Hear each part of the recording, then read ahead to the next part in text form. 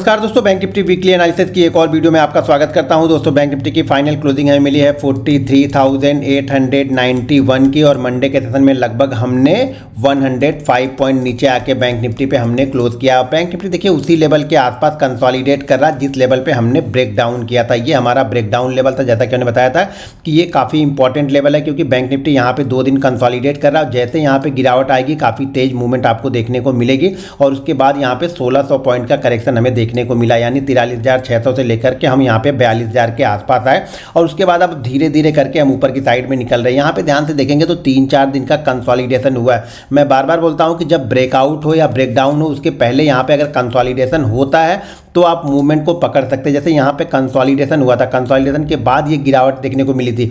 जैसे ये गिरावट हुई थी, अगर इसी फ्लो में मिलता तो शायद आपको वो मूवमेंट पकड़ में नहीं आती। लेकिन यहाँ पर देखेंगे तो ऊपर जाने से पहले मार्केट क्या कर रहा है? यहाँ पर कंसॉलीडेट कर रहा है। देखिए, ये काफ़ी इंपॉर्टेंट लेवल है। यहाँ से हो सकता है मार्केट नीचे भी आए और ऊपर की साइड में निकल जाए। लेकिन आपको ध्यान रखना है लेवल देखिए, नीचे आने के लिए मार्केट जो ये कंसोलिडेशन कर रहा था ना, तिरालीस के आसपास, देखिए, यहाँ पे चार से पाँच दिन कंसोलिडेशन किया। उसके बाद ये मूरत ट्रेडिंग के सेशन में हम ऊपर ओपन हुए और ऊपर ओपन होने के बाद नीचे आके यहाँ पे हमने मंडे के सेशन में थोड़ा सा नीचे आके क्लोज किया। लेकिन ये चार पाँच दिन जो कंसोलिडेट कर रहा है ना, ये स्ट्रॉन्ग बाई जोन यहाँ पे बन चुका है। अब सेलर तभी एक्टिव होंगे जब मार्केट इसके नीचे क्लोज करेगा। ध्यान रखिएगा, इसके नीचे क्लोज करेगा तभी थोड़े से सेलर यहाँ पे आपको आते हुए दिखेंगे। यानी मार्केट अगर तिरालीस के नीचे बैंक निफ्टी तिरालीस हज़ार के नीचे अगर बैंक निफ्टी क्लोजिंग बेसिस पे क्लोज करता है ना, तभी यहाँ पे सेलर एक्टिव होते हुए दिखेंगे। नहीं तो इस लेवल के आसपास यहाँ पे बायर आपको आते हुए दिखेंगे। जब भी इस लेवल के आसपास आएगा यहाँ पे बायर एक्टिव हो जाएँगे।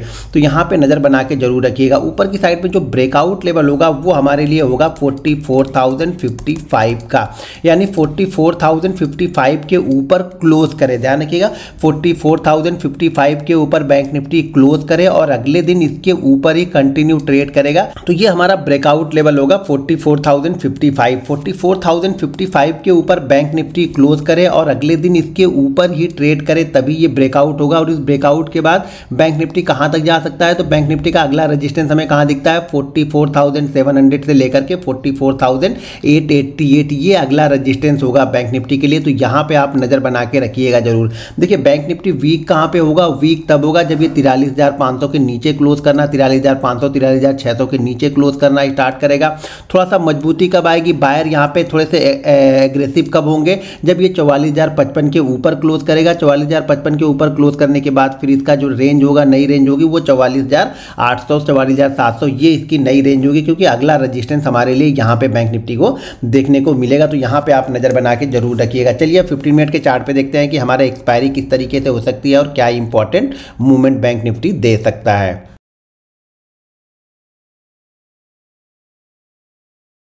अब यहाँ पे 15 मिनट के चार्ट पे देखेंगे, ध्यान से तो 15 मिनट के चार्ट पे इस लेवल को ध्यान जरा नज़र बना के ज़रूर रखिएगा। यहाँ पे इंपॉर्टेंट है, ये रेंज काफ़ी इंपॉर्टेंट है, वो है तिरालीस हज़ार आठ सौ। तिरालीस हज़ार आठ सौ के आसपास हमने दो बार यहाँ पे ट्राई किया था, लेकिन उसके बाद हम नीचे की साइड में आ गए, जो हमारा मूरत ट्रेडिंग था, वहाँ पर हम इसके ऊपर ओपन हुए ओपन होने के बाद में वहीं पर हमने कंसॉलीडेट किया, लेकिन मंडे के सदन में हम ऊपर ओपन होने के बाद नीचे आए, लेकिन वापस हमने ज़्यादातर टाइम यहाँ पे तिरालीस के ऊपर ही बिताया था। तो ये हमारे लिए काफ़ी इंपॉर्टेंट है कि बैंक निफ्टी तिरालीस 800 के ऊपर ही बना रहे नीचे की साइड में देखेंगे तो यहाँ पे एक ट्रेंड लाइन ड्रॉ करेंगे।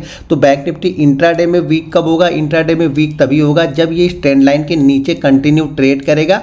तो वहाँ पे पहला मूवमेंट हमें ये देखने को मिल सकता है, वो है तिरालीस हज़ार छः सौ अस्सी का। और उसके बाद अगर नीचे की साइड में आता है तो वो तिरालीस हज़ार पाँच सौ। तिरालीस हज़ार पाँच सौ, ध्यान रखिएगा, एक स्ट्रॉन्ग बेस है तिरालीस हज़ार पाँच सौ, क्योंकि इसके ऊपर हम कंटिन्यू तीन दिन, चार दिन से इसके ऊपर ही ट्रेड कर रहे हैं। तो ये हमारे लिए स्ट्रॉन्ग बेस होगा तिरालीस हज़ार। पाँच सौ ऊपर की साइड में निकलने के लिए वही चौवालीस हज़ार पचपन के ऊपर इसे होल्ड करना पड़ेगा। ये जो जोन है ना, थोड़ा सा कंफ्यूजिंग जोन है। चौवालीस हज़ार पचपन से लेकर के तिरालीस हज़ार छः सौ, ये एक कन्फ्यूजिंग जोन है। तो इस जोन में हमेशा छोटी क्वांटिटी के साथ में ही ट्रेड करना पड़ेगा। जब ब्रेकआउट होगा तो यहाँ पर आप क्वान्टिटी ऊपर की साइड में देख सकते हैं, अपने हिसाब से, अपने रिस्क मैनेजमेंट के हिसाब से, और नीचे की साइड में क्वान्टिटी तभी यहाँ पर लोग सेलर एक्टिव होंगे। कब? जब ये तिरालीस हज़ार छः सौ, तिरालीस हज़ार पाँच सौ के नीचे यहाँ पर क्लोज करना स्टार्ट करेगा, तभी यहाँ पर सेलर एक्टिव होते हुए आपको दिखेंगे। तो हमारी एक्सपायरी के लिए सबसे अच्छा व्यू ये होगा कि मार्केट इसी रेंज में कहीं पे ओपन हो। अगर मार्केट इसी रेंज में कहीं पर भी ओपन होता है तो ध्यान रखिएगा, ये जो रेंज है, ये जो अपर एंड है, ये इसके लिए रजिस्टेंस का काम करेगा। तो यानी यहाँ पे रजिस्टेंस है, नीचे की साइड में आपको जो सपोर्ट है, तिरालीस हज़ार छः सौ, तिरालीस हज़ार, सात सौ, ये सपोर्ट रेंज मिलेगा। तो कुछ बड़ा मूवमेंट मुझे नहीं दिख रहा। बड़ा मूवमेंट तभी होगा जब मार्केट इस, यहाँ पर आए। मार्केट कल ओपन हो, यानी कल के सेशन में मार्केट ओपन हो, और ओपन होने के बाद में इस रेंज के ऊपर ओपन हो नौ सौ, और यहाँ पे चौवालीस के बीच में ये कंसॉलीडेट करें। यानी नौ सौ और चौवालीस के बीच में ये कंसॉलीडेट करें, और कंसॉलीडेशन के बाद बाद जिस साइड में भी निकलता है, उस साइड में आपको यहाँ पे एक अच्छी मूवमेंट देखने को मिल सकती है। तो ध्यान रखिएगा कि मार्केट तभी आपको मूव पकड़ने को मिलेगा जब ये कंसॉलीडेट करेगा। अगर ये कंसॉलिडेट ना करके कल गैप अप ओपन हो जाए गैप डाउन ओपन हो जाए तो गैप डाउन में एक चीज़ नज़र रखिएगा कि 500 स्ट्रॉन्ग सपोर्ट है। गैप डाउन में अगर 500 के आसपास कंसॉलिडेट करने के बाद में ये ऊपर की साइड का ब्रेकआउट करता है तो वापस ये तिरालीस के पास जाने की कोशिश करेगा। अगर यहाँ पे 500 गैप डाउन ओपन होने के बाद तो ऑलरेडी 300 पॉइंट हम गैप डाउन ओपन होंगे। तो यहाँ पे नीचे की साइड में मुझे बड़ा मूव नहीं दिख रहा। लेकिन हाँ ऊपर की साइड में अगर इस जगह पे कंसोलिडेट करता है तो ऊपर की साइड में एक मूवमेंट मिल सकता है कि मार्केट वापस क्लोजिंग लेवल के आसपास आने की कोशिश कर सकता है। ध्यान रखिएगा, तिरालीस हमारा वही रेंज है जहाँ से हमने ब्रेक डाउन किया था। तो इस लेवल के पास में मार्केट टाइम बिता रहा और जितना मार्केट यहाँ पर टाइम बिताएगा, उतना बायर यहाँ पे बायर के लिए अट्रैक्टिव होगा और जैसे ही ब्रेकआउट करेगा बायर यहाँ पे एग्रेसिव होके बाइंग करना स्टार्ट करेंगे। तो यहाँ पे नज़र बना के रखिएगा चौवालीस के आसपास में। अब ये ध्यान रखिएगा मार्केट अगर बहुत बड़ा गैप अप ओपन हो जाए, मान लीजिए bank Nifty 200 250 point gap up open हो जाए तो यहाँ पे थोड़ा सा नज़र बना के रखिएगा मार्केट को कंसोलिडेट होने दीजिएगा, उसके बाद में ही कोई सेटअप बनेगा तो ट्रेड कीजिएगा। गैप डाउन में थोड़ा सा अच्छी अपॉर्चुनिटी मिल सकती है अगर मार्केट कंसॉलिडेट करने के बाद में, उस रेंज को ऊपर की साइड में ब्रेकआउट करेगा तब यहाँ पे। दोस्तों, अगर वीडियो पसंद आए तो वीडियो को लाइक और शेयर ज़रूर कीजिएगा। मिलते हैं नेक्स्ट वीडियो में। जय हिंद।